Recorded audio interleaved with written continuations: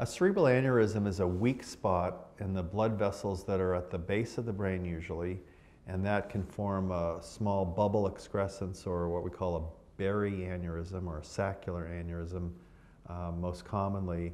And that places the patient at risk uh, that this aneurysm can go on to leak or rupture and cause a hemorrhage in the brain, which is termed a subarachnoid hemorrhage. Subarachnoid hemorrhage. That's a hemorrhage in the subarachnoid space, the space that surrounds the brain. Uh, so if an aneurysm is discovered, uh, the ideal uh, scenario would, we, would be that we would be able to find the aneurysm before it ruptured and be able to treat it to prevent that from happening in the future.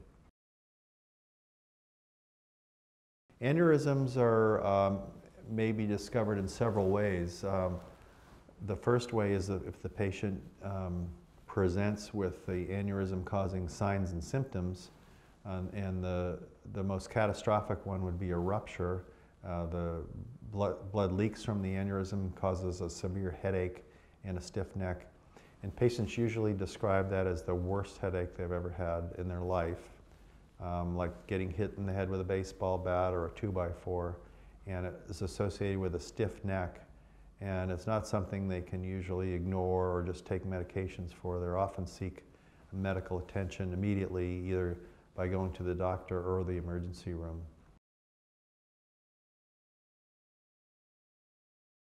In addition to having an aneurysm rupture, aneurysms can slowly enlarge and cause compression of the surrounding brain structures. Um, these are commonly associated with compression of the cranial nerves or the nerves that go to the eyes and ears and mouth and so forth because that's where the nerves are at the base of the brain and that's the same location where we find um, cerebral aneurysms. So for example, uh, uh, an eye that uh, where the lid starts to go down and, they be, uh, and the patient develops double vision and the pupil dilates, that's a, an important sign that there may be an aneurysm that's enlarging, uh, causing that set of signs and symptoms. Um, other ones include slow loss of vision in one eye, um, and aneurysms near the optic nerve can cause this type of symptom as they enlarge slowly and cause compression on the cranial nerve. So, so rupture or cranial nerve compression symptoms uh, are, are two of the important signs that uh, alert a physician or a patient that they have a brain aneurysm. Aneurysms used to be thought to be congenital, and congenital means that a patient is born with something. So uh, berry aneurysms were called congenital berry aneurysms. That's no longer uh, thought to be the case. Uh, we know now that uh, the majority of the aneurysms are acquired in adulthood. Uh, in rare conditions, they're found in pediatric patients, but it's most likely they're found in adults. Most aneurysms are not uh, hereditary, um, and their patients are not usually born with aneurysms. Uh, it used to be uh, thought that they were congenital. Uh, they were called congenital berry aneurysms, and it was believed that patients with, were born with a small aneurysm or a defect that then turned into an aneurysm. And we now know that uh, most uh, children or adolescents or young adults do not have brain aneurysms, and they develop uh, in adults. Um, in the you know the common age group is in the 40 to 60s uh, where they present with an aneurysm at that time. They may, patients may have a predisposition to a weak spot in the vessel when they're younger that then forms an aneurysm over time, but the majority are uh, found in adult patients. Aneurysms are, are normally treated with uh, either observation if they're very small.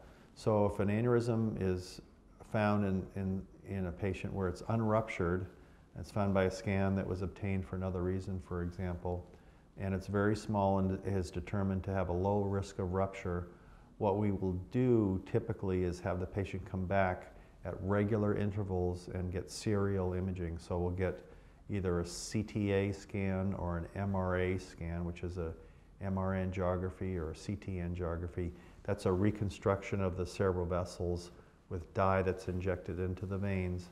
and that can be repeated on a yearly basis or several year basis, depending on how frequently that aneurysm needs to be imaged uh, based on its size and growth characteristics. So that's, that's, that's an observation uh, management. If an aneurysm needs to be treated, in other words, it needs to be excluded from the circulation because of a high risk of rupture, there are treatment options, and those treatment options include um, open surgery with clipping of the aneurysm, where a small clip is placed across the neck of the aneurysm to exclude it from the circulation, or endovascular coiling uh, with or without a stent that's placed. Now, in that procedure, um, the, both procedures, the patients go under uh, anesthesia, and in the coiling procedure, a catheter is threaded up through the vessels, up through the leg, and then up into the neck. And the aneurysm is catheterized, in other words, a small, tiny tube is placed at the opening of the aneurysm, and then a small coil is fed into the aneurysm where it coils up inside and then is released and, and let go. And the coil uh, serves to block the blood from going in, and eventually uh, the aneurysm clots off and no longer fills with blood and that removes the risk of rupture in the future. Now, if the, if the opening of the aneurysm or the neck is wider, um, the coils don't work as well because they're not held into the vessel. So what's called a stent may be placed in the vessel to hold the coils in, um, in the aneurysm itself. And this is called a stent coiling uh, procedure. Uh, some of the newer uh, stents are called flow diverters or, or pipeline is one brand. Um, there are some other brands, but these are called flow diverting stents, where the weave of the stent is, is much, much tighter and it almost mimics the lining of the vessel. And that type of stent is expanded to cover the opening of the aneurysm. And then the aneurysm um, ends up uh, clotting off over time um, and obliterating itself so it removes it from the circulation effectively and prevents it from rupturing in the future. The other uh, uh, tried and true uh, long-term treatment for aneurysms is called microsurgical clipping. And microsurgical clipping is an open surgery where a, an incision is made in the scalp and uh, we go under the base of the brain um, and lift, lift the base of the brain and under a high-powered microscope find the aneurysm and place a, a small microsurgical clip uh, to occlude the neck of the aneurysm and prevent it um, from bleeding in the future. And that's also an extremely effective treatment to remove an aneurysm from the circulation, uh, prevent it from pressing on nerves, and preventing it from uh, being at risk for bleeding in the future. So these treatments are, are, can be done after an aneurysm is ruptured and cause bleeding to prevent the patient survived uh, to prevent it from bleeding again in the future, or it can be done if an aneurysm is discovered uh, before it's bled and that gives us the opportunity to treat it before it's caused any kind of uh, problem by releasing blood into the, into the space around the brain, causing a hemorrhage.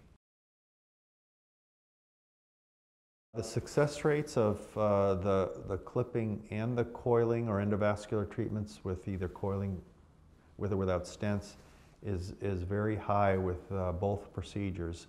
So we're, um, we're fortunate, or patients are fortunate to have two treatment options. Um, it, it, there have been uh, many studies that have done comparing the two treatments, the clipping and the coiling treatment, um, to each other and for different types of aneurysms and in different situations. And what seems to have come out over the last 20 years when comparing the two um, types of treatments is there are some aneurysms anatomically which are much better treated with endovascular or stent treatment. There's another group of aneurysms which are uh, look to be better treated with a clipping procedure just because of the configuration and anatomy. And then there's a large group of aneurysms in between um, that have anatomical uh, features that could be treated with clipping or coiling, uh, both successfully.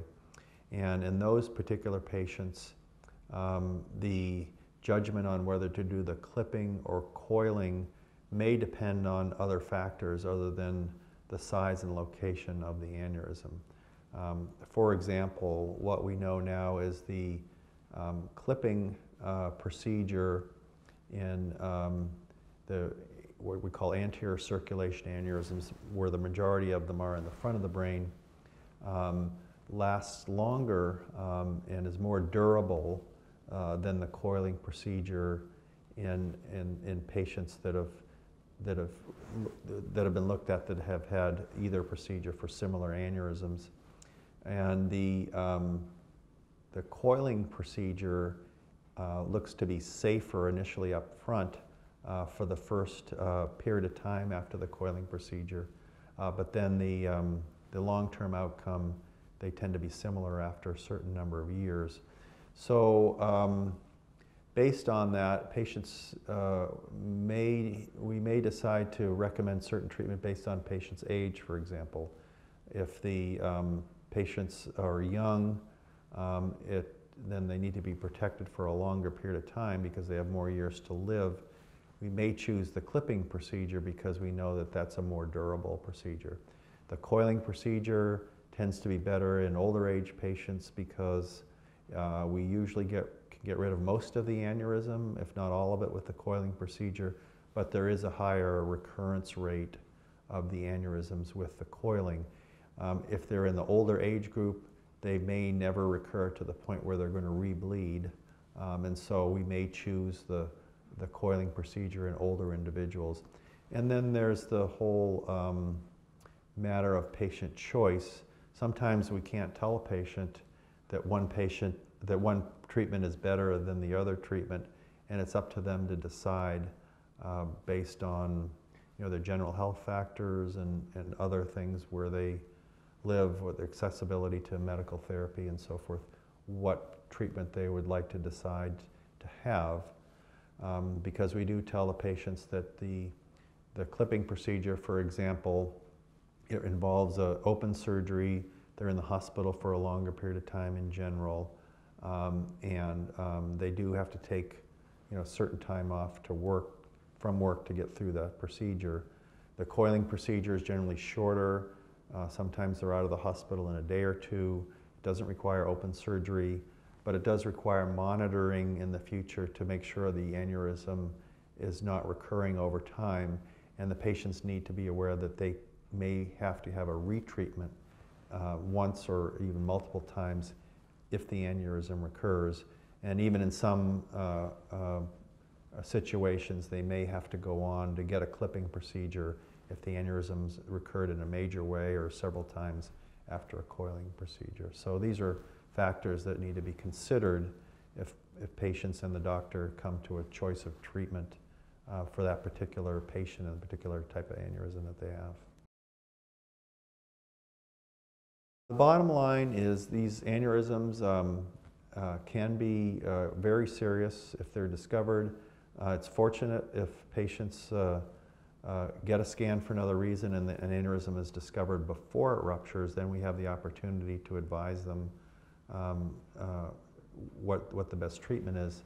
And the other thing that's important to know is that if we scan um, a number of people uh, over the age of 40, uh, generally several percent of the adult population is going to have aneurysms because they're a common occurrence. Uh, and so many of them are small, most of them are small and don't rupture in the future. So many can be followed with serial scanning unless they reach a size that places them at risk for rupture in the future. So that I have many, many patients that we're following on a, you know, every year or every two year, sometimes every three year basis and do non-invasive imaging uh, repeatedly to make sure the aneurysm is growing. If it, it's small and it starts to grow and gets larger in size over several interval scans, then we usually would recommend treatment in that patient.